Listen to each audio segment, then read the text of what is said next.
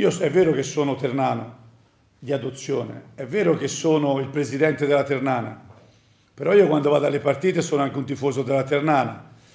Quindi voi mi dovete anche scusare, e non sono un tifoso normale, sono un tifoso che vuole vincere, sono un tifoso che non accetta il mosciume, che non accetta proprio nulla. C'è qualcuno delle volte manda il diavolo l'allenatore quando la partita è finita. Io ce l'ho lì davanti, lo mando al diavolo mentre la partita è in corso. Cioè io delle volte vengo zittito dal professore, voglio dire, che sta accanto a me perché mi dice, ma chi si ricordi che è il presidente? E io gli devo rispondere, veramente io oggi sono tifoso, il presidente l'ho fatto fino a mezz'ora prima della partita. Quindi io quel video l'ho fatto da tifoso che parlava ai tifosi e parlavo in modo specifico della Ternana, come d'altronde qualcuno mi ha inviato tutte le statistiche per dirmi guarda che i ternani sono tanti ad andare alle partite e non sono mai troppi.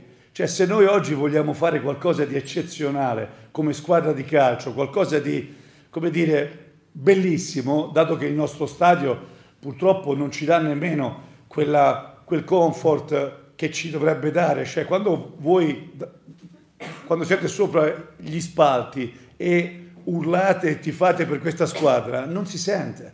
Cioè in certi casi dentro al campo ci sentiamo anche soli.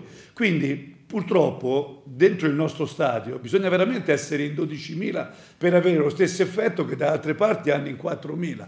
Allora la squadra, e qui parlo ancora da tifoso, ha bisogno in questo momento di un grande, di, di un grande seguito, si deve sentire obbligata a giocare nel modo giusto. Quindi è chiaro che dici ma abbiamo una media alta. Signori, non è mai alta se si vuole fare qualcosa di così importante. Bisogna uscire dalla nostra comfort zone, no? Allora, è vero, alle due è un orario dove evidentemente eh, qualcuno cambia turno. Io ho capito perfettamente, ma alle quattro e mezza i turni sono già cambiati.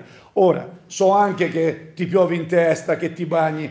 Ieri guardavo una foto che mi ha mandato un amico dall'Olimpico con grande invidia. La gente va all'Olimpico vestita Bene, cioè con la giacca, la gravata, ci vanno le signore ben vestite, perché non ti piove in testa, mentre da noi è uno schifo, tutte le volte che viene giù uno scroscione d'acqua, io vedo le cose che succedono.